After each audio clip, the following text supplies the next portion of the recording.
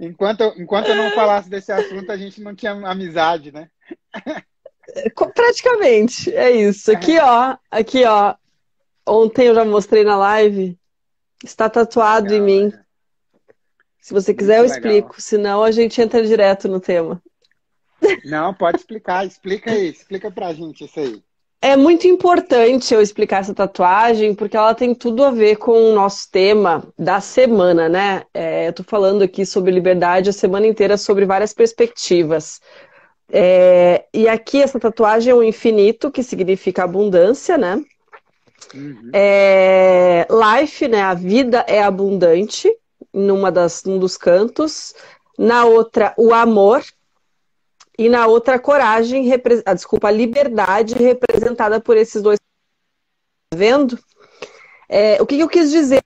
A, li... a liberdade ela é abundante para todos nós, desde que nós escolhamos a coragem que vem do amor. É, pode parecer um pouco complexo ou um pouco simples demais, mas para mim isso aqui é, é o que representa a vida. Assim, para mim isso aqui é o maior símbolo de, de que nós somos livres e abundantes de amor também.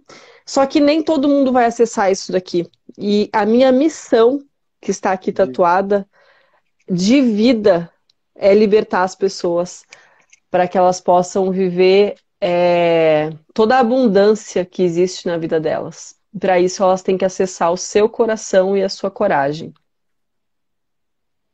Muito, muito legal isso aí. Eu, na verdade. Eu, Oi, é, travou para mim. Você está me ouvindo?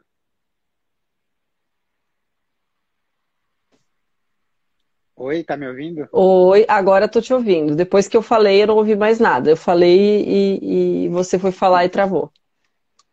Muito legal essa questão, porque é até o assunto que a gente vai falar hoje, pessoal, que é sobre liberdade. E liberdade tem a ver com escolhas, né, Silvana? Então, assim, são Tudo. as nossas. É, tem a ver com, as nossas escolhas, elas definem é, se a gente vai realmente viver uma vida com liberdade ou não. É, você tem a Sim. liberdade de escolher, mas a escolha que você faz, ela define muito bem. Eu estava vendo uma frase do Flávio Augusto, né, o dono aí da, da Wizard, né? É, da WhatsApp. WhatsApp. E aí ele falou bem assim: é, a escolha que você faz entre estabilidade, né, ou uma vida abundante, vai definir o que estilo de vida você vai viver. Porque se você é, escolhe a liberdade, a, a, a, estabilidade, que, por exemplo, que o serviço público, que é onde eu estou hoje, onde você não está mais, você está definindo um estilo de vida para você. Quando Sim. você define um outro tipo, de, de viver realmente de ser uma vida empresária, de viver a vida dos seus sonhos, é um outro estilo de vida que você vai viver. A escolha que você fizer vai definir o estilo de vida que você vai ter. Isso é muito legal, né? Exatamente, exatamente. Por isso que a tríade do destino, ela anda totalmente juntas, né? Porque esse autoconhecimento e esse propósito, eles vão te ajudar a poder ou não viver essa vida, esse estilo de vida, né? Só que para isso você precisa estar tá muito é, aprofundado em si mesmo, né? Porque se você tiver aprofundado no outro ou aprofundado é, em coisas externas a você, dificilmente você vai fazer uma escolha que não seja por uma coisa, que é representada pela palavra estabilidade, é, mas que é, eu chamaria de segurança. Segurança, isso. ela é contrária à liberdade, porque a, a a liberdade é, é, é, tema livre, então em tema livre não tem segurança. Eu não posso ficar na zona de conforto e querer liberdade. Essas coisas não conversam, essas coisas não combinam. Eu preciso ter essa consciência. Toda vez que eu vou buscar é, liberdade, eu vou ter que abrir mão de outra coisa. Não tem. É, toda vez que eu escolho o caminho da liberdade, o caminho da coragem, o caminho do amor, eu abro mão do caminho do medo, da segurança, daquela. É, eu sempre tenho uma imagem que me, que, que para mim ela é muito acesa na minha mente, né? Que é aquela zona de conforto que é uma cama cheia de espinhos, sabe? E, e, e, aqui a gente pode, ela pode ser representada por diversos, diversas escolhas que a gente faz, porque a liberdade, ela não está aqui só atrelada ao meu trabalho que eu escolhi, não, ela está ligada à minha liberdade mental, emocional. Amanhã eu vou falar disso junto com o Luiz, né, das cinco tipos de liberdades que existem. Porque quando a gente fala de liberdade, às vezes a gente foca muito na liberdade financeira. Só que a liberdade financeira, ela é fruto da nossa liberdade mental. Porque se, por exemplo, eu não acredito que não é possível ganhar dinheiro é, de uma forma leve, ponto. Você é, obtém aquilo que acredita. Então, para você, dinheiro sempre vai ser uma coisa pesada e você sempre vai estar preso a ele. Então, assim, por exemplo, é, bom, eu trabalhava na Caixa, como todo mundo sabe, né? É, aqui que, que nos segue e acompanha, é, e eu ganhava o salário que todo mundo ganha. Por que, que eu fiz algumas decisões? Por que, que eu consegui fazer uma gestão que, muito legal? Que, to, que, todo mundo ganha, não, que todo mundo gostaria de ganhar, é diferente. não, que, to, que todo mundo que tinha o mesmo cargo, né? Mas ah, por que que, por que, que, por que, que, por que, que em muitos momentos eu consegui fazer uma gestão melhor disso? Porque eu abri mão de algumas coisas, como disse uma amiga minha ontem na live sobre transição de carreira internacional é, eu, eu, optei por um estilo de vida mais low profile, já que eu estava no, no, num, num emprego público e eu me dedicava 100% do meu tempo lá. E, ao mesmo tempo, eu fiz investimentos é, financeiros de muito risco. Então, eu corri muitos riscos. Então, assim, a liberdade, ela é contrária à segurança. Assim, dificilmente se eu tivesse buscado um caminho de zona de conforto, de conforto por todos os lados, de segurança, de fazer investimento só com 100% de certeza de retorno. Infelizmente, esta liberdade, a financeira, eu não teria conquistado, né? Porque né? Eu, e assim, outra coisa, é a liberdade, ou seja, a liberdade mental, ela é fundamental para me dar liberdade financeira.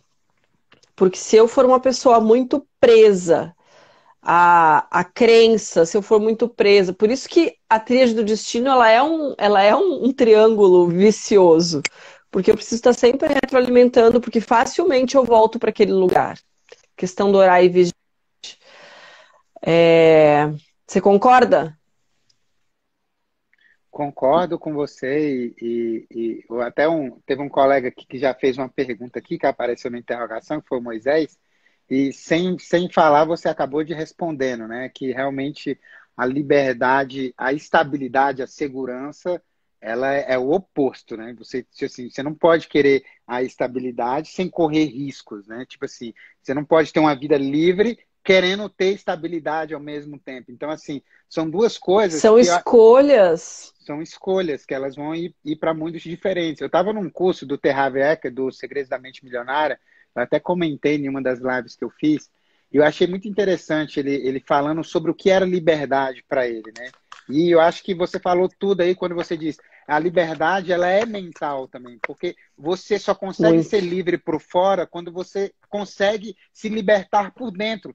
E a, e a, e a Silvana falou muito bem, se, se, libertar dos seus medos, das suas crenças limitantes, que às vezes vêm de hereditário, né? É o livro Pai Rico e Pai Pobre, quando ele descreve ali a criação do pai pobre, que é buscando justamente a segurança, e é a maioria das pessoas, 80% das pessoas aqui provavelmente tem essa criação né, de vida segura. Olha, arruma, estuda, meu filho, estuda, passa num concurso, se, é, é, vamos para o governo, né? Que lá você vai ter segurança. E outro, o pouco, pouco das pessoas elas buscam aquela outra tipo de liberdade.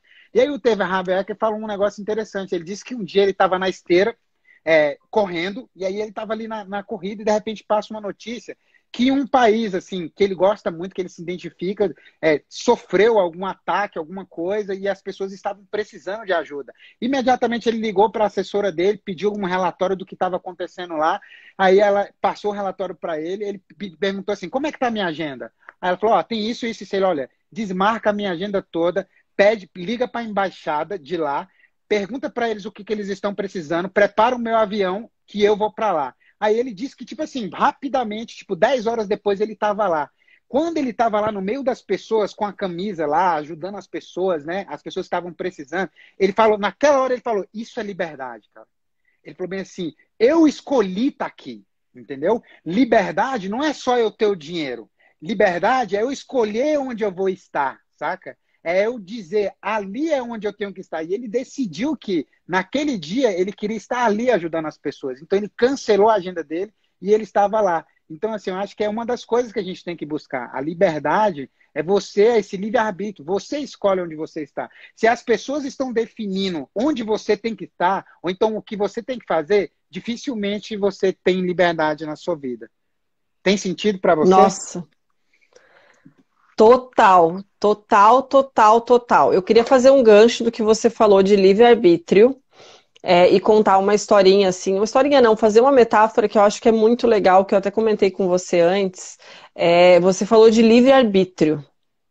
Assim, na verdade, você falou de várias coisas. Eu queria, eu anotei aqui alguns Sim. tópicos que eu queria fazer Sim. ganchos e ganchos, tá? Do que você falou. É, a questão do livre-arbítrio. Eu tenho, eu tenho é, que ter consciência. Por isso que a, a expansão de consciência é tão importante para que eu acesse a liberdade nata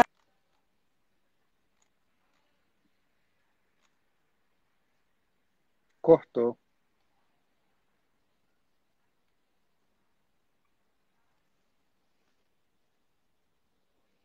Voltou, voltou.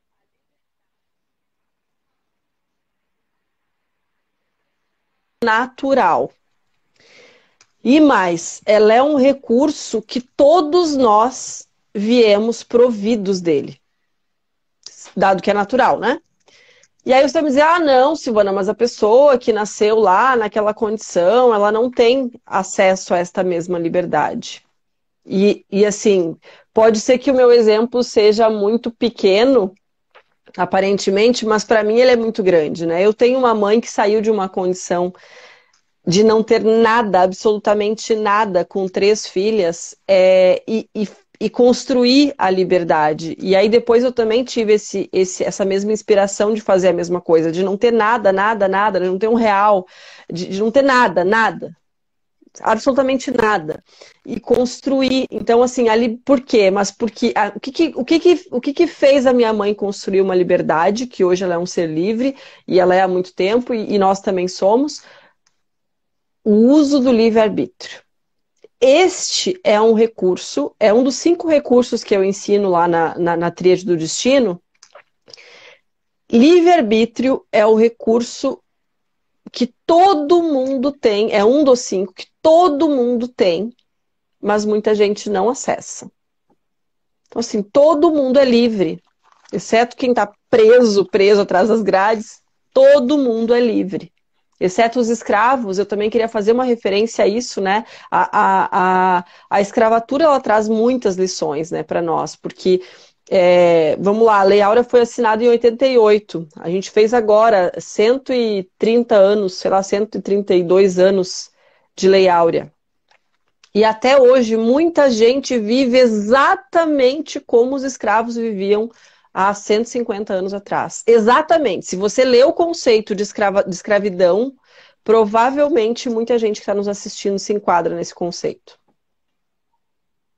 É, então, assim, é, quantas, quantas décadas, séculos vão ter que passar para que a gente se liberte mentalmente e entenda, e aqui a gente, de novo, liberdade não tem nada a ver só com trabalho, tem a ver com, com todas as áreas da vida. Só que trabalho ele tem uma, ele tem uma um, um quê especial, até porque ele ocupa boa parte da nossa vida, né?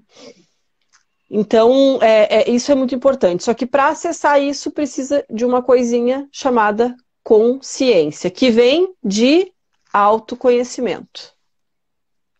Que pode ser autodidata ou pode ser é, é buscado, né? Você, você pode buscar ajuda para obtê-lo. Eu queria fazer uma referência que você falou sobre as escolhas. Eu lembrei de uma passagem do Tony Robbins que ele comentou com a gente, que eu achei muito legal e que tem tudo a ver com isso, né? Acabei Liberdade de é... Acabei de escrever sério? o que você vai falar, sério, pode falar. Ai, gente, olha quanta sin sin sinergia, sincronicidade. É, Tony Robbins, é, bom, assim como para Tony Robbins, para mim, liberdade é um valor fundamental na minha vida. Acho que isso não é muito novidade, né? Liberdade é um valor fundamental. Só que, além dos valores que a gente tem, a gente tem uma ordem para organizar esses valores na nossa. Porque, assim, valores, eles é, influenciam diretamente as nossas decisões. Então, eu tenho que ter noção que se eu tenho X valor de liberdade é número um. todo o resto da minha vida vai estar subordinado à liberdade. E aí ele falou que ele queria muito, muito ter uma família, ele queria muito ter uma esposa, ter filhos. Só que os valor, o valor de liberdade dele estava sempre em número um.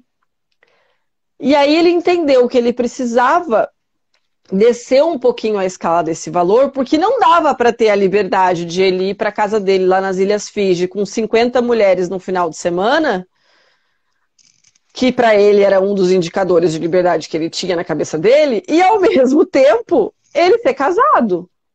Eram coisas conflitantes. Então, é, liberdade, a gente também não pode confundir com libertinagem né? E, e ela também, você tem que entender que liberdade traz responsabilidade. Esse é um outro ponto muito importante. Toda liberdade traz responsabilidade. E aí aqui eu vou dar um tapinha de leve na cara. Muitas vezes eu abro mão da minha liberdade porque eu não quero ter responsabilidade. É bem forte isso, mas quando eu acesso a liberdade, eu tenho uma série de compromissos e de responsabilidades que às vezes eu não quero ter. Só que assim, tem uma frase que eu nem sei de quem que é, mas que eu amo muito, que é o plantio é opcional, a colheita é obrigatória. Então, toda vez que você é, escolhe um caminho, você vai colher os frutos dessa escolha. E eu posso optar por escolher o caminho mais fácil, mais confortável, é... e tá tudo bem. Só que no momento que eu escolho sim o caminho da liberdade, eu escolhi um caminho que traz muitas responsabilidades. Né? É muito importante que a gente não confunda essa palavra com a outra lá que eu falei. É... E uma outra coisa que também tem a ver com o que você falou, é, que é a coragem, tanto para conquistar a liberdade, que precisa de muita coragem, de assumir riscos, de assumir responsabilidades. Mas uma coisa assim que para mim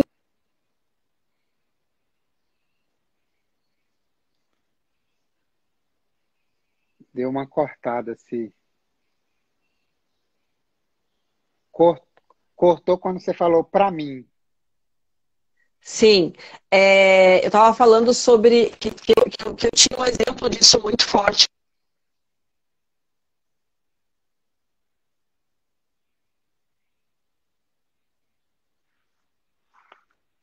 Deu uma cortada, sim. Eu acho que você vai ter que sair. Você vai ter que sair e voltar. Você não quer abrir os comentários para o pessoal falar, porque eu acho que é, eu acho que é o seu que está travando. O meu tá zeradinho, o seu que tá. Camilinha, tá travando de quem aí? É, fala pra mim Você que qualquer coisa eu saio, mas só pra gente não derrubar ela sem, sem motivo. Eu acho que agora voltou, hein, gente? Acho que tá ok. É, eu tava falando que uma coisa é você conquistar a liberdade, Outra coisa é você acessar a liberdade conquistada, desfrutá-la com responsabilidade sempre. Tá travado, gente? Tá travado o hum. seu, meu amor. Sai e entra de novo. Tá. Tchau. Tchau. Tchau.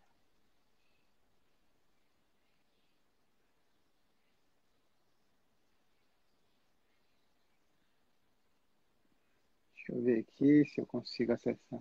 Da Silvana travando. Beleza, eu vou.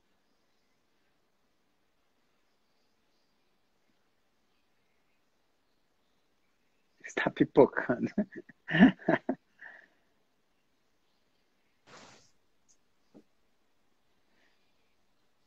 Oi, gente. Você é que tava pipocando. É, então, que pena, né? E eu tava falando igual a matraca. Não, não, não, não, só travou até. É, é, você estava falando sobre. Volta na parte de coragem, agora que a gente está entrando nos nossos minutos finais, está muito legal. Estou aprendendo muito, ó. Já tenho quatro páginas anotadas. Fala aí. Como assim, gente? eu estava falando sobre a, a liberdade conquistada você precisa também ter coragem. Além de ter coragem para conquistar, você precisa. Que na verdade, de novo, todo mundo já tem, tem que ter coragem para acessar. É... você tem que ter coragem para é, usufruir dessa liberdade, porque às vezes você tem, você tem consciência que tem, mas ainda assim você não tem coragem para vivenciá-la. Então, é,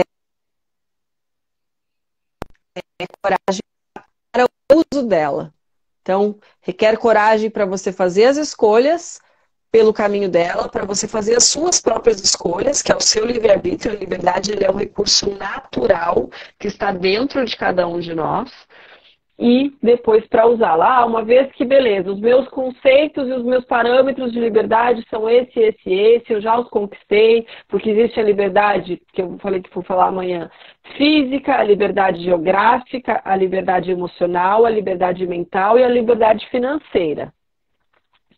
Uma vez que eu conseguir acessar e construir essas liberdades, eu preciso ter coragem para viver, porque afinal de contas a liberdade é para ser vivida. Concorda, Stefânio?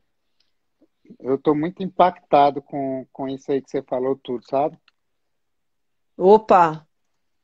Não, é sério, eu estou falando de verdade, essa questão de. Eu sei, eu sei, eu acredito que, em você. De que. Eu estava escrevendo aqui, uma das coisas que o Tony também fala é que é, o destino ele não é, não é controlado pelas suas circunstâncias, e sim pelas suas decisões, né? Eu acho que sim. isso aqui tem, tem, tem tudo a ver com as escolhas que a gente faz. É, e essa liberdade, tem um, tem um filme que é do Homem-Aranha, que o tio Ben fala, grandes poderes exigem grandes responsabilidades, né? Então, se você quer viver um, um, um, um nível de, de, de, liberdade muito grande, com certeza o seu nível de responsabilidade ele vai aumentar. Isso está implícito na frase. Então, não é só você simplesmente ter a liberdade pronto. Você precisa acessar essa liberdade. E quando você acessa essa liberdade, ela é muito mais do que simplesmente você ter uma de... você não ter nada para fazer ou alguma coisa nesse sentido, ou você ter muito dinheiro para gastar. A liberdade ela tem, ela vem, ela vem atrelada com diversas responsabilidades ao redor dela. Tem uma, um artista, o nome dele é Christian Bale. Ele era o Batman antigamente, ele não é mais. Foi feita uma entrevista para ele, foi perguntado assim, o que, que era poder para ele? E aí ele falou bem assim: poder para mim é quando eu posso escolher não fazer nada. Então, assim, ele, em outras palavras, ele estava dizendo que naquele momento da vida dele, ele não tinha o poder. Ele não tinha essa liberdade de fazer, de não fazer nada, porque ele era um, artista, ele estava no, no topo da carreira dele, e embora ele tivesse alcançado todo o sucesso, ele não tinha acessado ainda a liberdade, entende? Que não está só relacionado ao sucesso, não está só relacionado ao dinheiro. Você pode ter sucesso e não ter liberdade. Você, além de você não ter a liberdade física, de você poder se movimentar, você pode ser que não tenha a liberdade interior. Que é por isso que muitas pessoas chegam ao sucesso e se suicidam. Chegam ao sucesso e têm depressão. Sejam um sucesso e, vem, e encontram um vazio dentro delas. Um desses grandes motivos é porque a liberdade ela não foi acessada. Então, isso é, isso é lindo, sabe? Isso realmente é fantástico. Isso, isso é muito forte, né? É isso que você está falando, porque assim, tem muita gente que tem a liberdade e não tem coragem de acessar, e tem muita gente que tem o sucesso e não tem a liberdade. Eu, eu vou te falar, é, Estefânio, que é, um dos principais gatilhos, talvez, para eu ter saído da. Talvez não, com certeza, né? Um dos para eu ter saído da caixa é que eu me senti exatamente assim era dia após dia de eu não conseguir é, escolher nem mesmo uma agenda do meu dia. É, por muitas e muitas vezes eu era obrigada, e sim, eu estava, eu tinha feito uma escolha, então eu tinha que obedecer aquela escolha que eu tinha feito, a fazer uma série de agendas que não eram as agendas que eu gostaria de estar fazendo. Eu tinha agendas muito mais importantes, sob o ponto de vista daquilo que eu pensava ser importante para a empresa, mas eu não podia seguir naquele caminho que o meu coração mandava. E, e este não poder ter a liberdade ali no próprio exercício da função foi um dos grandes motivadores assim para eu tomar a decisão de sair. E é, é, é, essa liberdade, não liberdade interna e externa também, porque às vezes eu simplesmente queria estar em outro lugar. E, e, e, é muito louco, porque hoje eu estou em outro lugar. Só que se eu não orar e vigiar todos os dias, eu não acesso a liberdade que eu tenho de poder escolher o que eu vou fazer todo dia. Olha que, olha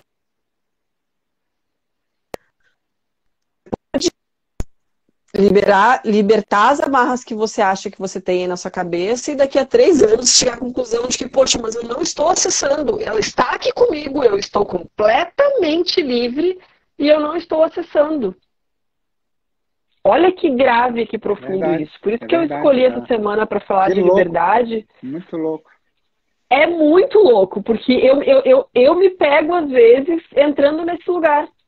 O que mostra que não adianta eu ter liberdade financeira, eu ter liberdade geográfica, física, emocional, se eu não tiver liberdade mental. Se eu não me permitir escolher fazer aquilo que eu quero, mesmo que aquilo não seja o que o outro queria que eu estivesse fazendo. É, é, é bem, muito é bem louco, forte. Muito louco, muito legal. Bem forte. Bem forte. A gente vai falar disso a semana inteira. Muito a gente vai falar disso né? de liberdade, é, questão da maternidade, liberdade versus maternidade. Vou falar na quinta-feira. Vai ser bem legal. A gente vai ter umas livezinhas interessantes essa semana aí. Essa foi muito boa, muito... assim. Adorei fazer muito louco. É, acabou aí o nosso período de live, pessoal. Foi passa oh, rápido, né? eu quero deixar uma reflexão, eu quero deixar uma reflexão aqui para todo mundo, que é uma pergunta que eu sugiro vocês meditarem a respeito dela. O que é meditar a respeito dela? É usar ela como um mantra, é se perguntar, é se colocar num lugar de observador dessa pergunta. Tá? Então, papel e canetinha na mão, vamos anotar essa pergunta, porque ela é bem.